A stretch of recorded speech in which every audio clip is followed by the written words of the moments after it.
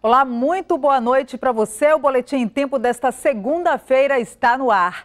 Hoje pela manhã, 20 presos ameaçados de morte foram transferidos da cadeia pública Raimundo Vidal Pessoa para o interior do estado. Muitos familiares continuam em frente ao presídio em busca de informações.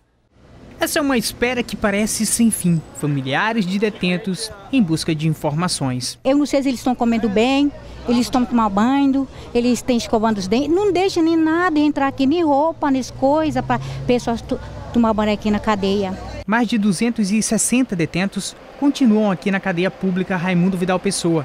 33 na enfermaria e o restante no pavilhão A.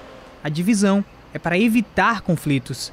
O número de presos era maior, é que quatro foram mortos, dois continuam desaparecidos e alguns transferidos. Os 20 detentos foram transferidos na manhã desta segunda-feira, aqui da cadeia pública desembargador Raimundo Vidal Pessoa, para uma unidade prisional em Itacoatiara.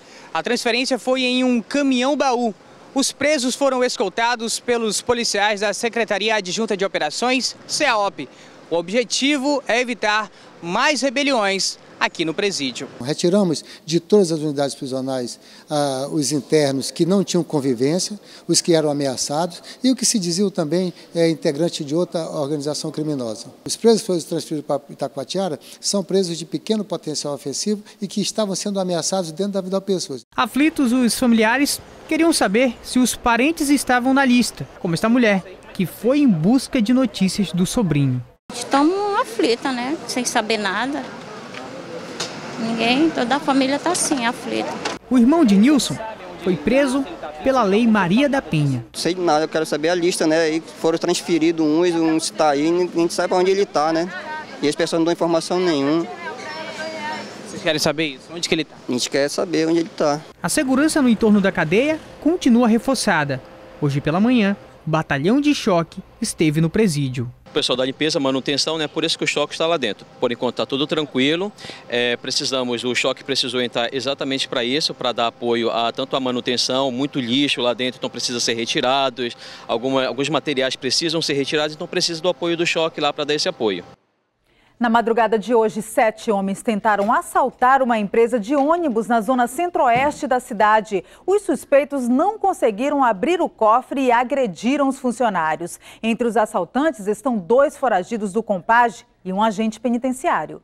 Tudo aconteceu por volta das três horas da manhã. Este vídeo mostra o momento em que os assaltantes chegaram armados no cofre da empresa e fizeram um funcionário refém. Eles já vieram com, com alguns funcionários, né? É, apontando arma na cabeça, pedindo para que todos, todos se ajuntassem e levassem eles até o, onde estava o dinheiro. É, eu fui o primeiro a ir diretamente lá para dentro. E como eles viram que a porta era só funcionava através de, de, de senha, e aí eles queriam que eu batesse e chamasse. Eu, eu havia dito para eles que o rapaz já tinha saído duas horas e ele sai, vai embora. E não tinha como abrir a, a porta, porque a porta é de ferro e tem senha. Segundo os funcionários, foram sete homens que entraram na empresa todos armados. Como eles não conseguiram abrir o cofre, os suspeitos começaram a agredir os trabalhadores. Eles levaram celulares e dinheiro de quem estava lá dentro. Conforme eles iam levando, eles iam dando coronhada.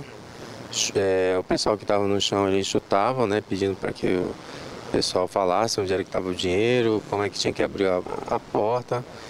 Como tinha muita gente, eles não conseguiam se comunicar, porque um falava uma coisa, outro falava outra.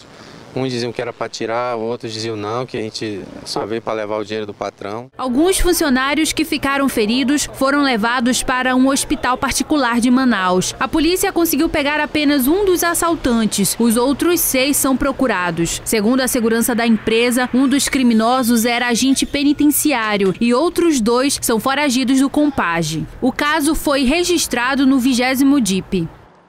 Em Parintins, a polícia investiga o caso de um homem que morreu com uma facada no pescoço. O corpo de Gilson Paixão de Souza, 52 anos, foi encontrado pelo irmão caído neste local, ao lado de sua residência na comunidade do Macurani, distante 14 minutos de carro da sede do município. O corpo apresentava um golpe profundo de arma branca na traqueia. Gilson Paixão de Souza morava nesta casa que fica ao lado da casa dos demais familiares. Poucas horas antes de seu corpo ser encontrado aqui neste terreno, ele disse para o pai que estava sendo ameaçado de morte por um homem. A irmã de Gilson, a dona de casa Marinilza Paixão de Souza, confirmou a versão que o pai deu à polícia. Veio pedir um agasalho aí.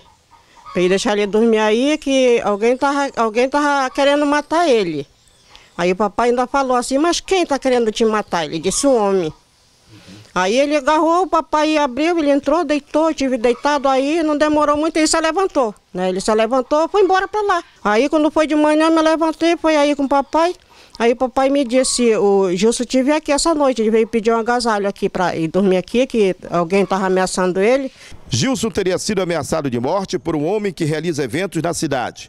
Amanhã, a família será ouvida na Delegacia Interativa de Parintins.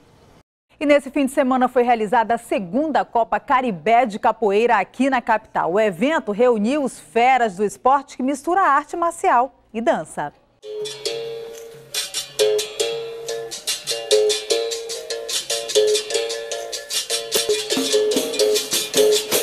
Ouvir o som do berimbau faz lembrar da época em que o Brasil era colônia de Portugal. Lá no século XVI, quando os escravos africanos trabalhavam nos engenhos de açúcar. Época que os escravos perceberam a necessidade de desenvolver formas de proteção contra a violência e repressão dos colonizadores. Os escravos eram proibidos de praticar qualquer tipo de luta para se defender. Foi aí que eles utilizaram o ritmo e os movimentos de suas danças africanas adaptada a um tipo de luta. Surgiu assim a capoeira, uma arte marcial disfarçada de dança. Foi um instrumento importante da resistência cultural e física dos escravos brasileiros. A capoeira surgiu na, na ânsia de liberdade, né? Hoje em dia a liberdade que nós defendemos é a liberdade de expressão, a liberdade de você poder falar, a liberdade de você explorar seu corpo para jogar capoeira. A mistura da arte marcial, do esporte, da cultura popular e da música fez da capoeira uma das expressões culturais brasileiras mais conhecidas do mundo. Até as crianças se renderam.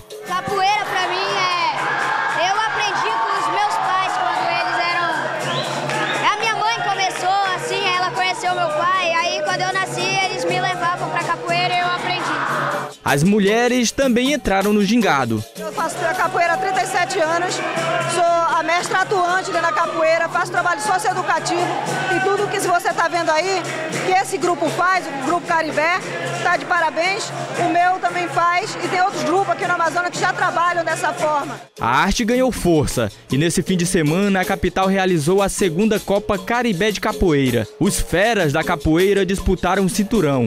Isso mesmo, o cinturão da capoeira que nem no UFC. É julgado fundamento do jogo, técnica, evolução de jogo, parte física. É julgado vários quesitos, ou seja, só vai ganhar o capoeirista mais completo. O ritmo benguela é o jogo mais técnico e o São Bento Grande é a parte marcial da capoeira. É uma mistura de luta e arte. A capoeira é um esporte, é uma cultura tombada pelo patrimônio cultural do Brasil. Mais de 100 capoeiristas participaram do evento. As medalhas e o cinturão foram só um incentivo, porque o significado da capoeira está no coração e no gingado de cada capoeirista. Eu sou Mariana Rocha e este foi o Boletim em Tempo. Outras notícias você acompanha a qualquer momento na nossa programação.